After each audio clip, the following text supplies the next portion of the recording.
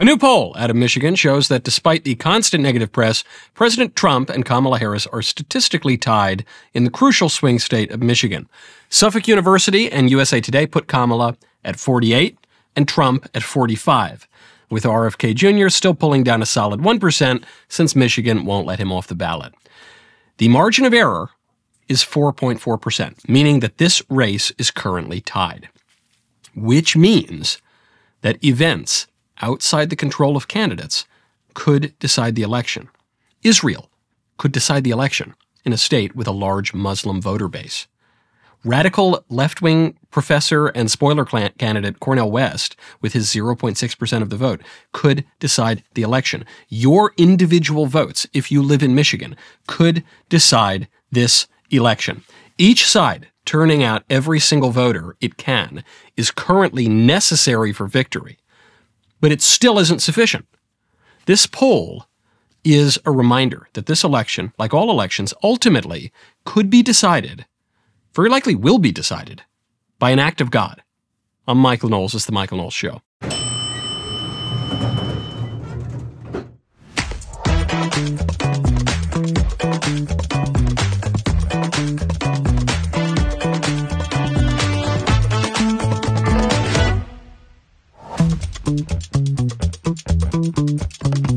Welcome back to the show. Did Diddy predict his detainment 20 or 25 years ago?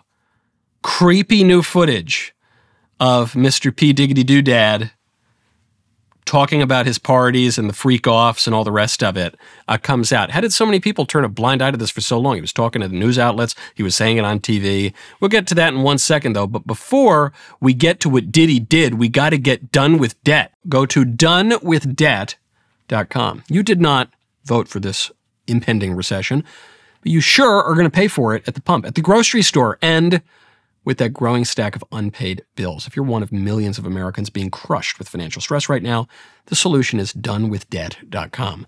Unlike some of the other guys, Done with Debt has created new aggressive strategies designed to get you out of debt permanently without bankruptcy or loans. Done with Debt stands between you and bill collectors. They negotiate with your creditors to write off balances, cut interest rates, and stop penalties. They have a plan to put more money in your pocket month one and every month until your debt is gone. Best news is that Done with Debt is accepting new clients right now, but you need to hurry because some of their debt strategies are time sensitive. You do not want to miss out. Let Done with Debt hit the debt reset button for you and make your money yours again. But again, this is time sensitive, so you need to visit donewithdebt.com or call 1 322 1054 right now. Chat with one of their debt relief strategists for free. That is donewithdebt.com, donewithdebt.com. Now, speaking of Israel, which I think is probably the event outside of the control of either candidate that is most likely to disrupt the race in Michigan because the Muslim vote is going to be very important there.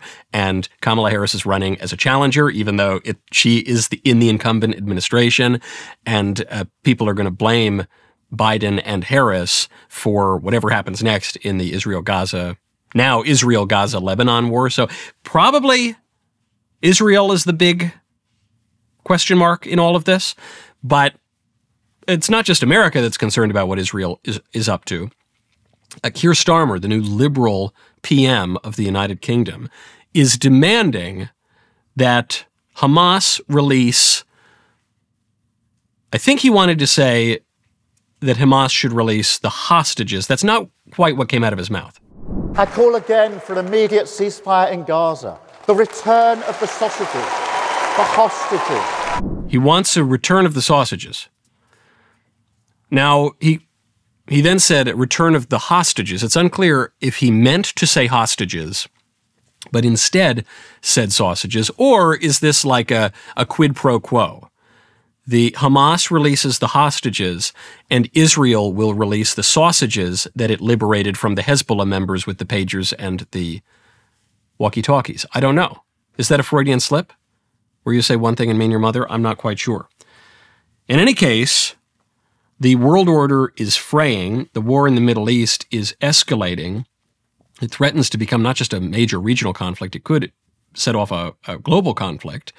And in the context of all of this, Joe Biden is giving his farewell at the United Nations. It did not go well. It went about as well as you could possibly expect that it went. Here is President Biden, remember him? His valedictory for the world stage. I made the preservation of democracy the central cause of my presidency. This summer, I faced a decision whether to seek a second term as president. It was a difficult decision. Being president has been the honor of my life. There's so much more I want to get done. As much as I love the job, I love my country more. I decided after 50 years of public service, it's time for a new generation of leadership to take my nation forward. My fellow leaders, let us never forget some things are more important than staying in power. It's your people. Some things are more important than staying in power, like when Chuck Schumer tells you you can't.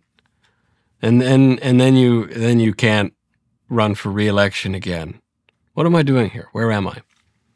A, a dishonest speech in that Biden is suggesting that he voluntarily gave up power. He did not. He ran for reelection. He did his best to hold on to the Democratic nomination for president.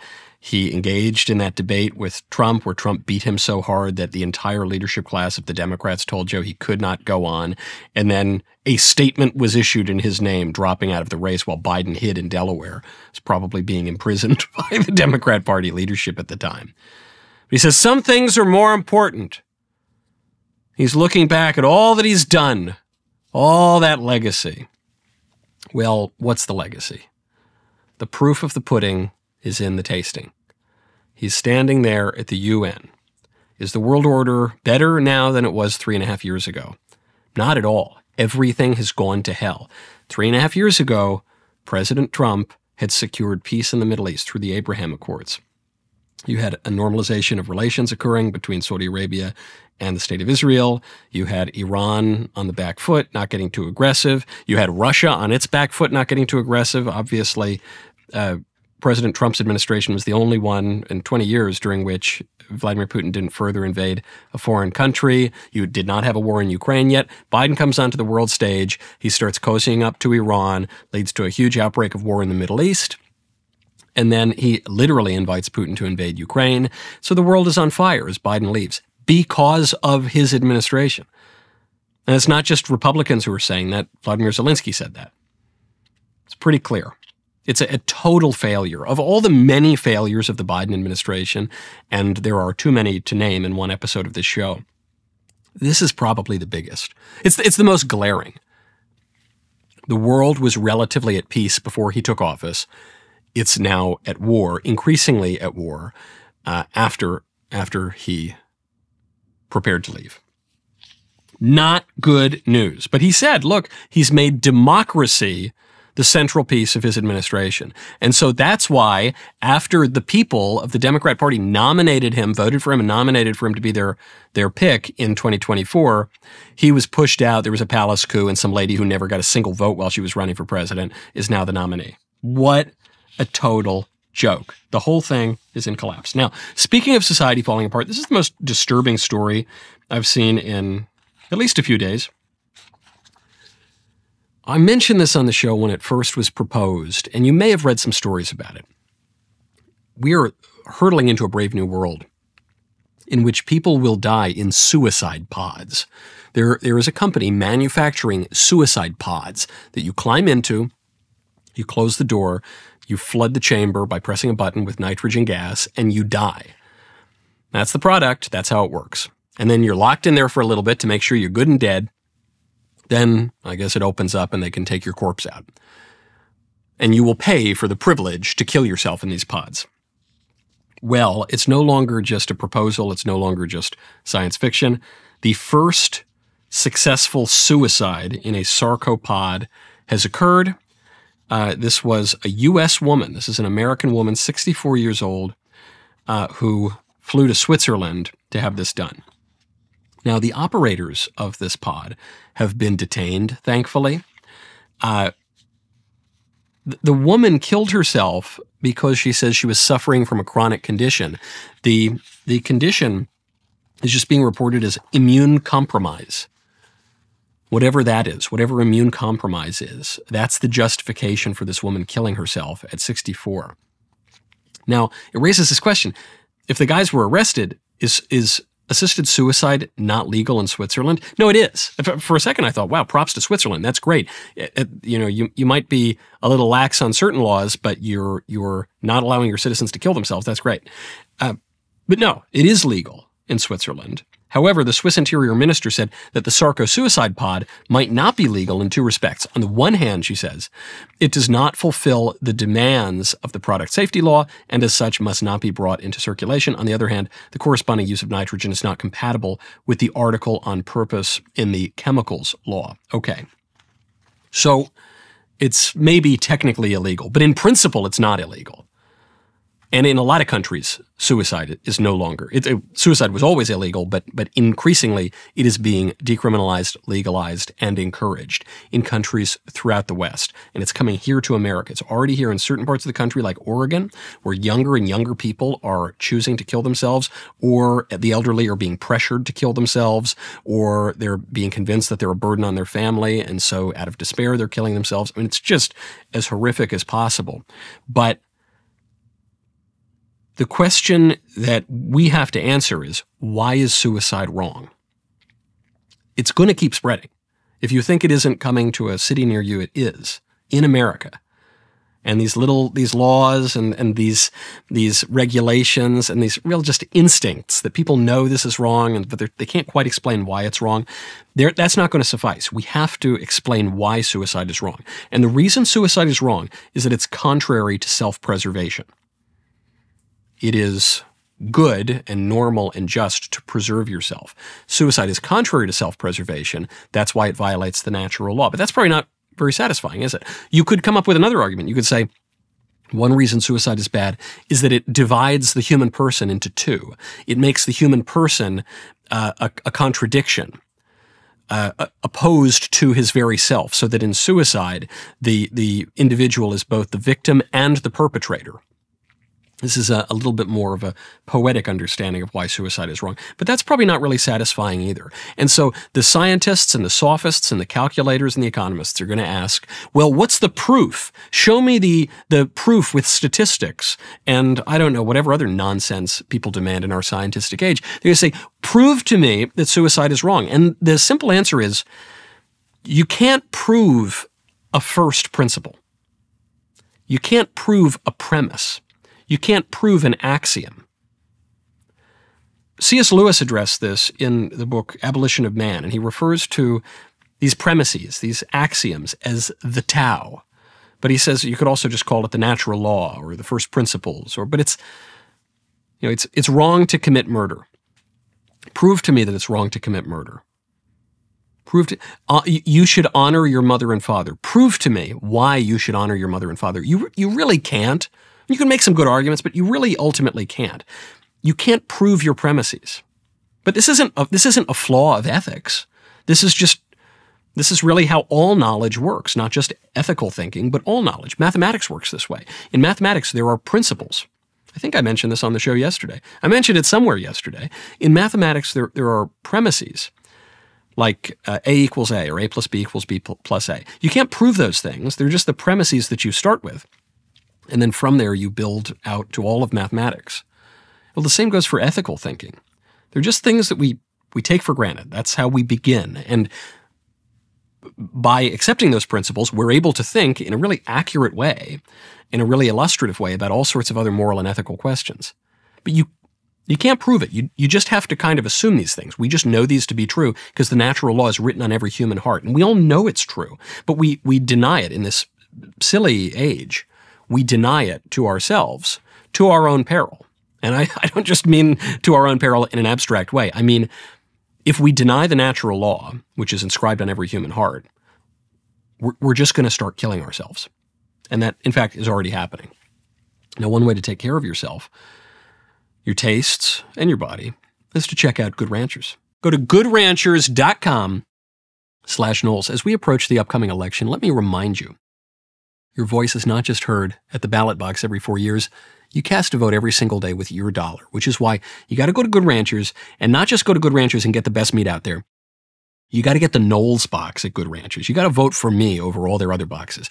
Mine has all those beautiful, delicious meats that you're going to want to eat the Michael Knowles diet. I sometimes I talk about, I post pictures of the meals that sweet little Elisa makes me. So many of, I, I guess I can't technically say all of the meals. Some of the meals are vegetarian, but a huge portion of those meals are using Good Ranchers meat, which is the best meat that you're going to get. It's American meat, doesn't have all sorts of artificial crap injected into them.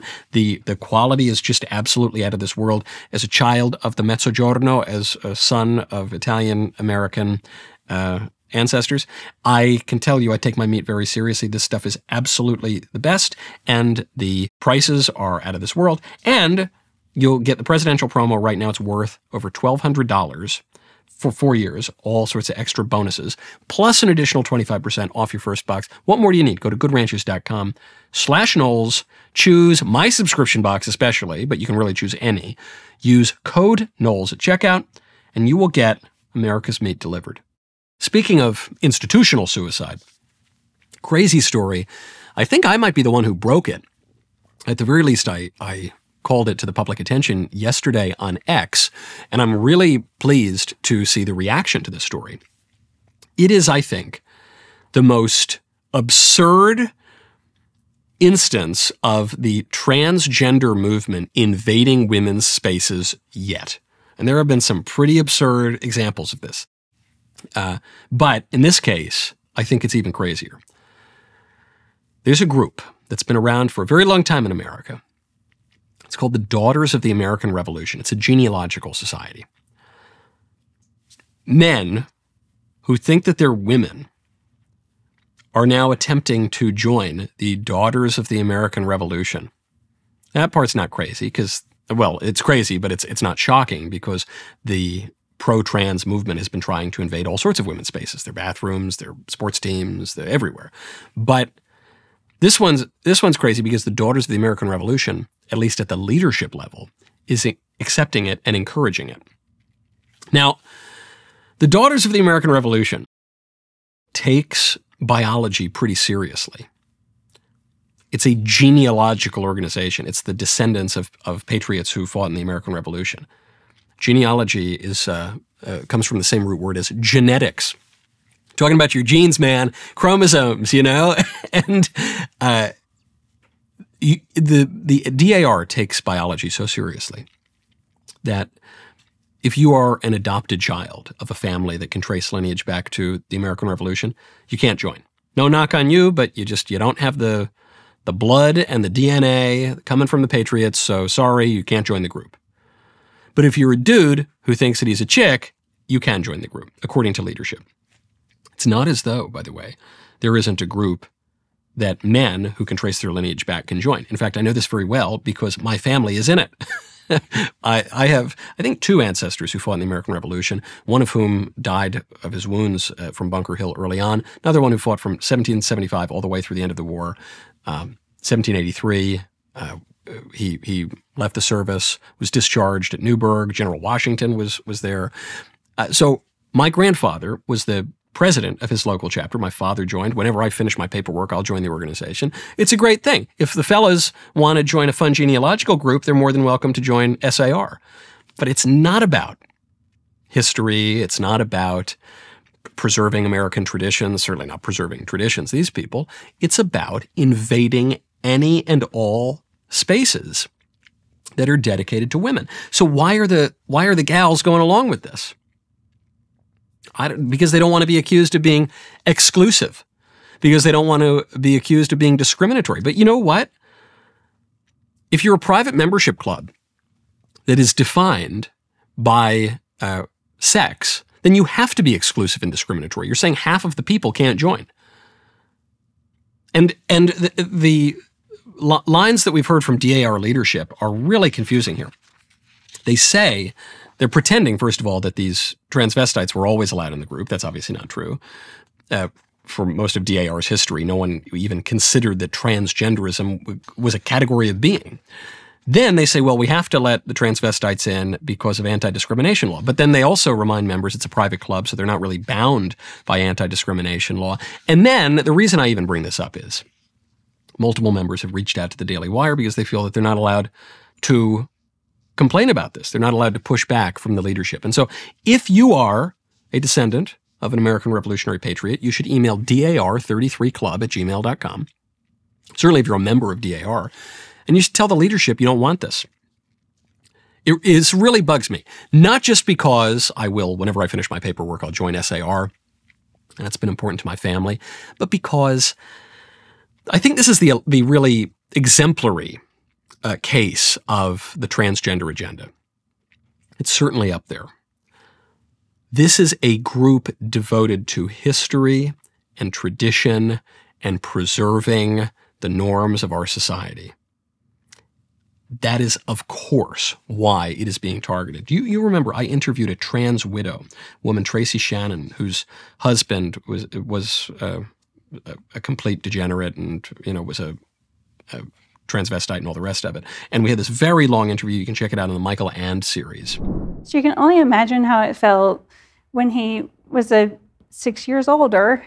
His dad decides he's going to become a woman, and he goes and gets giant breast implants and a nose job and grows his hair out long and he's hanging his bras all around his trashy apartment for my son to see and whenever he would hug my son he'd rub his breast up against him people don't think about what this is like for the boys they don't think about what that's like at all i mean dads have a certain feeling when you give them a hug and now their dad was soft and his enormous breast would rub up against them.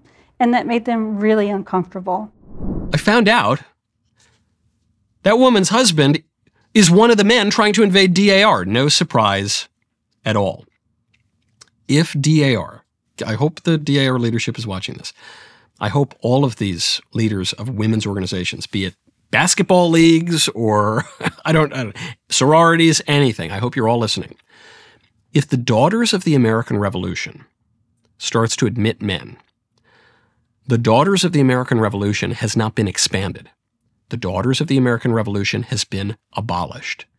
The definition of the Daughters of the American Revolution is that it is a group in which men are not welcome. It's for daughters, and daughters and sons are different. You can't expand things endlessly. When you expand things beyond their limits, you abolish that thing. Now, speaking of limits, when you want to place all sorts of sports bets, you ought to check out Prize Picks. Download the Prize Picks app. Use code Knowles. Let me tell you about Prize Picks, America's number one daily fantasy sports app with over 5 million active members. It's the easiest, most exciting way to play daily fantasy sports. All you do is pick more or less on two to six player stat projections and watch the winnings roll in. Now, here's an offer that will make your head spin. One Caleb Williams passing yard gets you one win on prize picks every week in September. That's right. Only one yard gets you an automatic win every football weekend this month. Four weeks of free dubs. What do you think about that? Don't miss this deal because it's gone when September ends. But wait, there's more.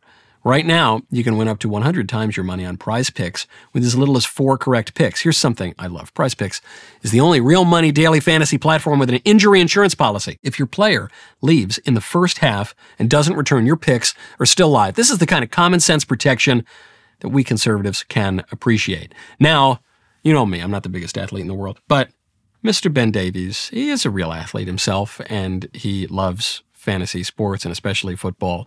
And uh, he can absolutely attest to the brilliance of this app. So you can download the Prize Picks app today. Use code Knowles, K-N-O-W-L-E-S, to get $50 instantly when you play five bucks. That's code Knowles on Prize Picks to get 50 bucks instantly when you play five bucks. You don't even need to win to receive the $50 bonus.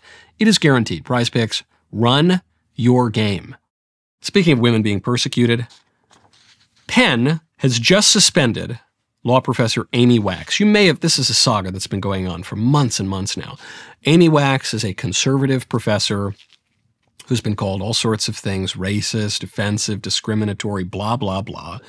And, you know, we, we usually hear the, the weak piddling pleas for academic freedom from people on, on the right and the left, which previously advocated for academic freedom back when it served their purposes to upend standards and ensconce themselves in power. Now you don't see any defenses of academic freedom from the left. Well, they finally got her. They finally suspended a tenured law professor at Penn for one year at half pay for what?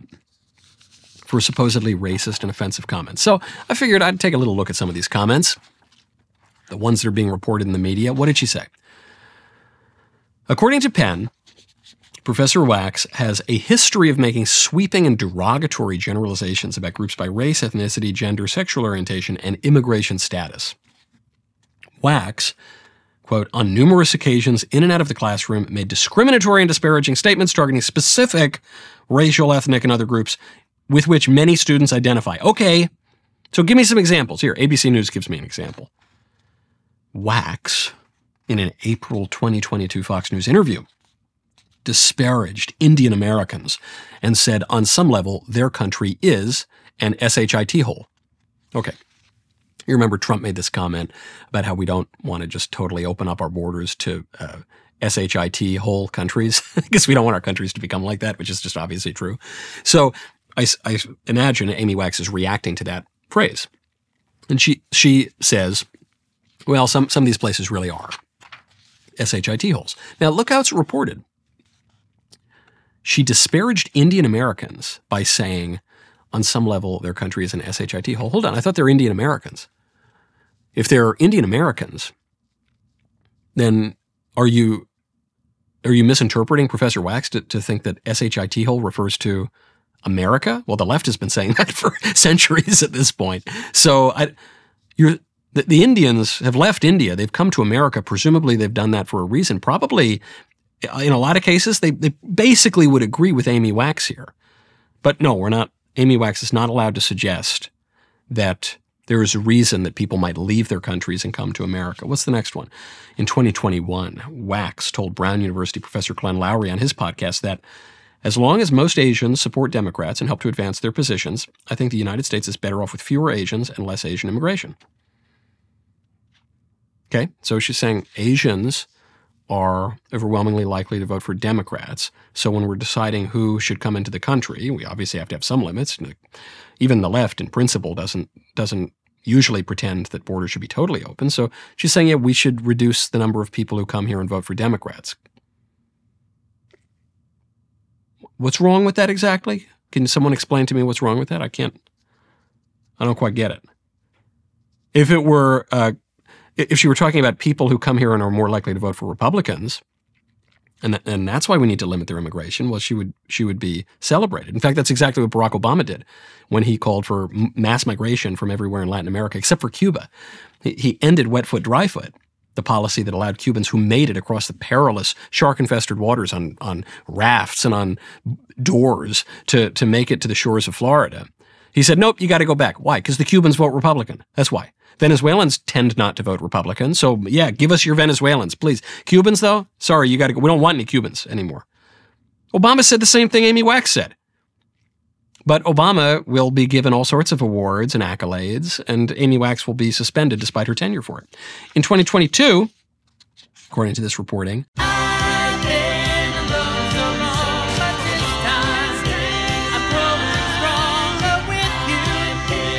Show me the lie in anything this woman said. The last example is the most egregious by far. If you hold the view of marriage that has been held statistically by every single person ever since the dawn of man, if you hold the view of marriage that Barack Obama held as president in 2011, you are a bigot who needs to be stripped of your job and your, your livelihood despite holding tenure, according to the libs in 2024. Amy Wax did nothing wrong. And if they can take her out, as apparently they've been able to, I, I don't hold out much hope for the other handful of conservatives in academia. Now, speaking of unfair attacks on conservative scholars, this one takes the cake. And my friend Kevin Roberts who is the head of the Heritage Foundation, has come under fire because he's uh, good at his job. he's he is wielding the uh, very established, very important think tank, the Heritage Foundation, to effective political ends. Uh, so the libs really don't like that. They want they want their conservative think tanks to be writing useless white papers that never go anywhere. As long as the right wing think tanks are doing that, the libs are happy. But the moment that the right wing think tanks actually have an effect on politics and personnel and policy, ooh, yikes, that, now we got to take them out. So they've said all sorts of crazy stuff about Project 2025 and the Heritage Foundation and everything. But this is my favorite one. According to The Guardian, Project 2025 mastermind allegedly told colleagues he killed a dog with a shovel. Revealed. Former colleagues claim Kevin Roberts told them he killed a neighbor's pit bull around 2004.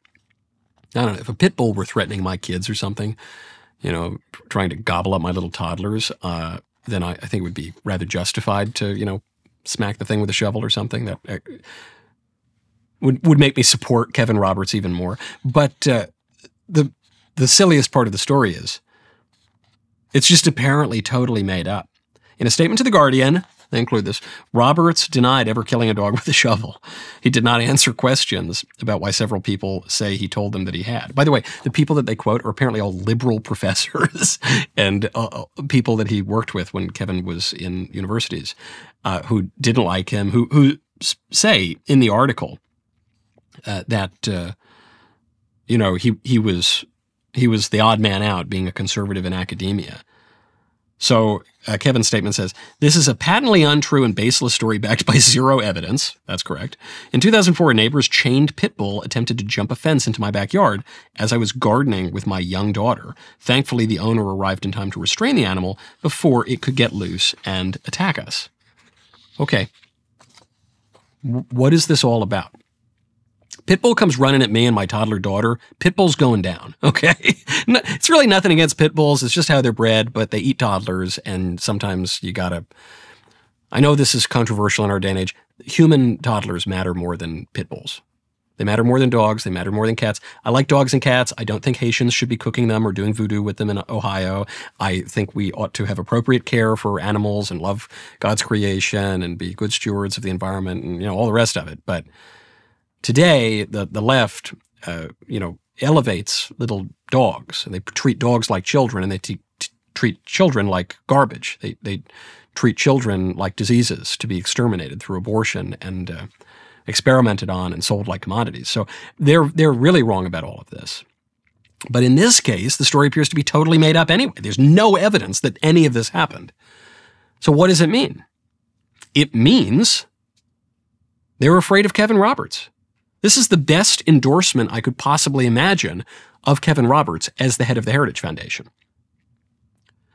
Can you name other heads of the Heritage Foundation? I actually can name a few because I, I am in the conservative movement and I've been around politics for a long time. But even you, if you're listening to this show right now or you're watching it right now, you're probably pretty tuned into politics. Can you name other heads of the Heritage Foundation? Probably not. Why can you name this guy? Because the left has done its best to malign him and defame him. And why have they done that? The same reason that they come up with all sorts of nonsense about Trump and they launch all sorts of hoaxes and they cook up fake documents with Democrats and then they justify killing the man multiple times in a single election year. They're afraid of him. And why are they afraid of him? Because for the first time in a long time, conservatives appear to have a plan of action that threatens the hegemony of the liberal establishment. That's why. Simple as. Now, turning away from people who are defamed as disreputable to actually allegedly disreputable people, P. Diddy. Did P. Diddy predict his own detainment, his own arrest over the freakout parties? A clip has just reemerged from 1999 which was a great year to party, as some of you may remember. Prince made that very, very clear. But back in 1999, Mr. Diddy, then known as Puff Daddy,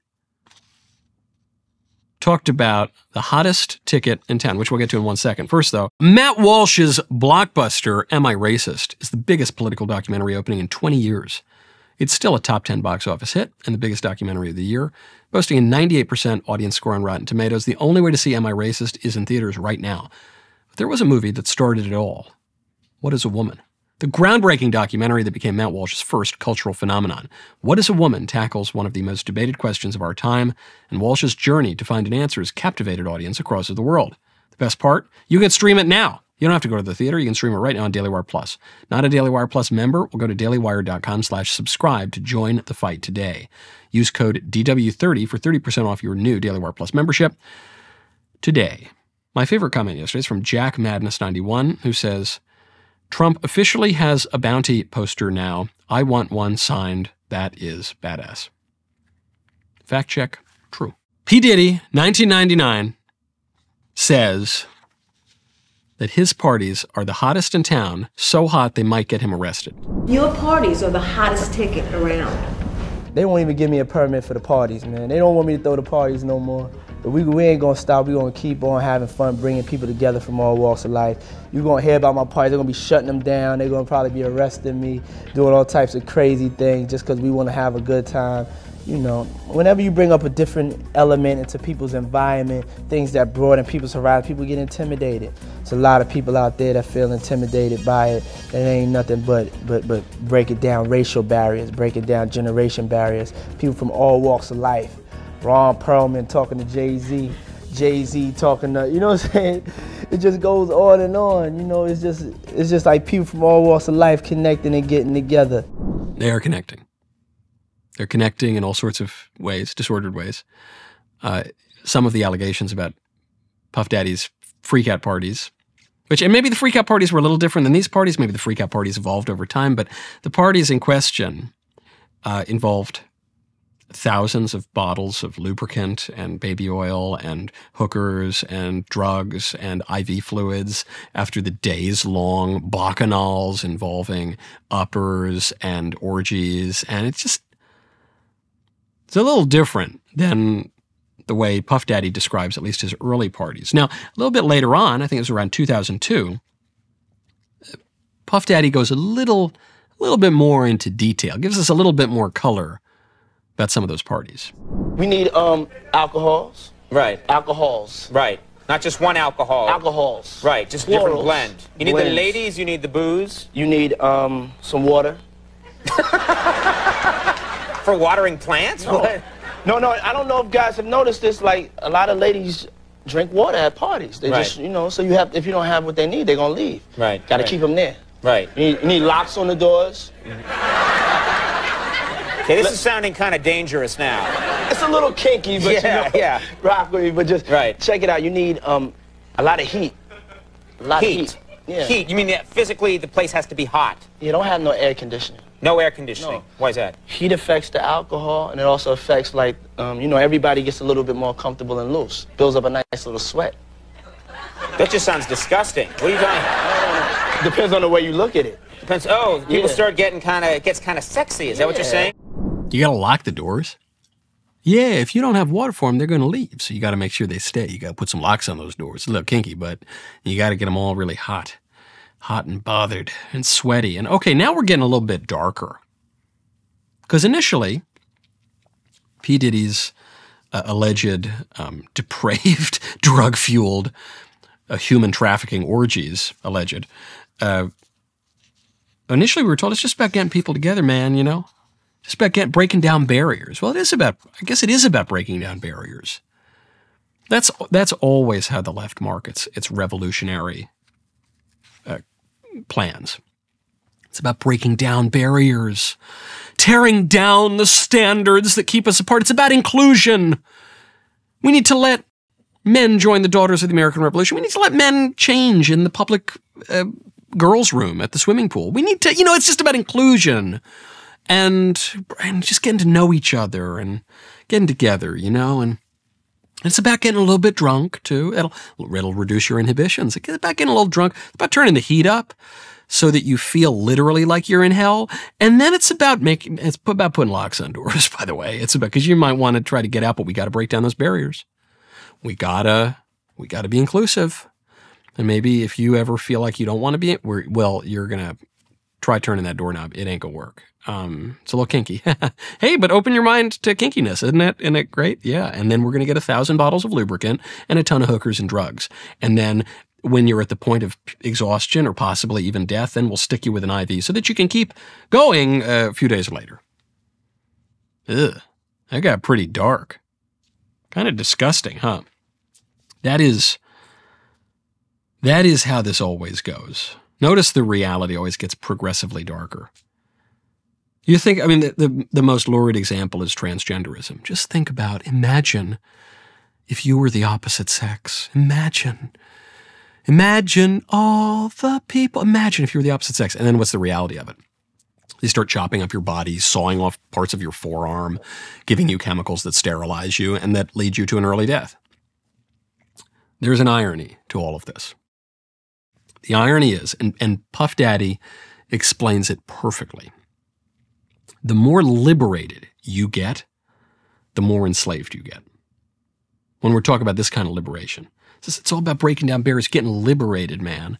That's why we're going to lock the door. We got to lock the door to make you get liberated.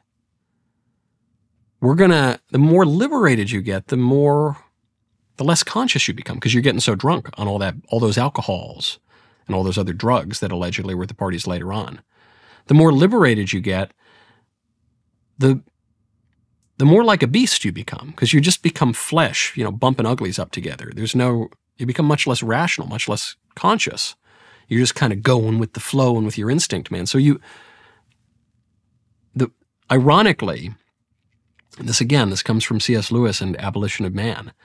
The the the more that you the more that you break free from limits, well, ultimately, you're going to free yourself from humanity. You're going to lose the things that make you distinctively human. When you finally break through all the strictures upon you, what do you have? You have the freedom to kill yourself, I guess. Freedom to treat yourself like an animal, and the, pro- and the freedom to kill yourself slowly with drugs and disease or quickly with the suicide pod in Switzerland. Now, speaking of weird sex stuff, Ryan Routh, the alleged would be assassin, who uh, the second would be assassin uh, against Trump. The first one obviously was killed in Pennsylvania after he failed. The second one had the, the muzzle of his gun sticking through Trump's golf course. Allegedly. I have to say allegedly a hundred times. Well, his son has just been arrested on child porn charges. Oran Routh is facing federal charges for the possession of child pornography after investigators searched his home in North Carolina. And the search was in connection to an investigation totally unrelated to child pornography and child exploitation. They were searching his home because his dad allegedly tried to murder President Trump. And just this guy's luck, he had a ton of child pornography on his computer, allegedly. Talk about rotten luck. Talk about the worst assassin ever. Talk about, I feel, you know, I, I actually pity people who get arrested for all sorts of things.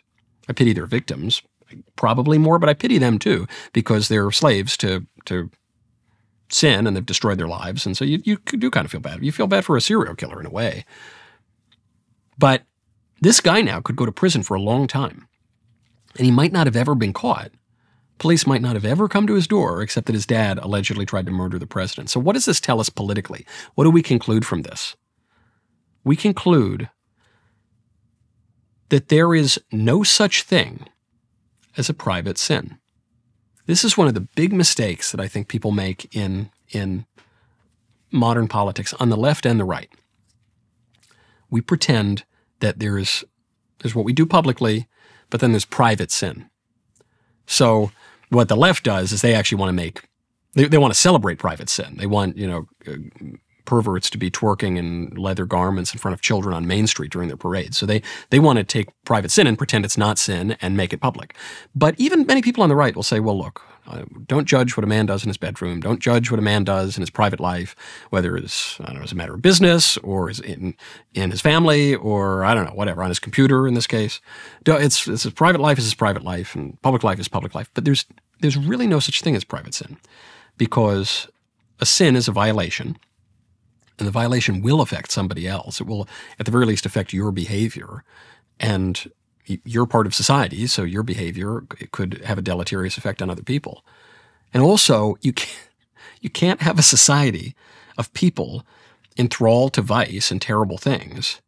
The whole society is hooked on vice and just degenerate behavior, and then expect to have a good society. Your constitution is not going to save you in that case. Your your beautiful public buildings are not going to save you. If all the people are rotten, then they, they're not going to just confine their rottenness to their homes, but but suddenly take on virtue when they're in public. They're just if you got a if you got a bunch of rotten people, you're going to have a rotten country. It's not that complicated. There's no member block today. You'll notice I'm here at PragerU because I was filming some episodes of my show, the book club here.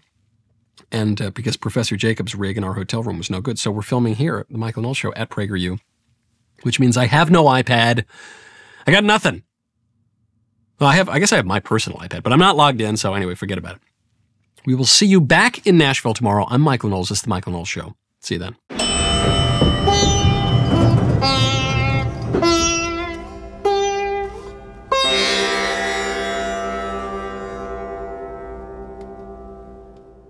The stage is set. The stakes are sky high. Senator Vance, Governor Walz, face off. But who will land the knockout punch? Don't watch the debate alone. Experience it with the most trusted names in conservative media. Daily Wire Backstage brings you unfiltered commentary, biting wit, and expert analysis you won't get anywhere else. Join Ben Shapiro, Matt Walsh, Michael Knowles, Andrew Klavan, and Jeremy Boring for a debate night you'll never forget. Daily Wire Backstage, Tuesday, October 1st, 8.30 Eastern, 7.30 Central, only on Daily Wire Plus.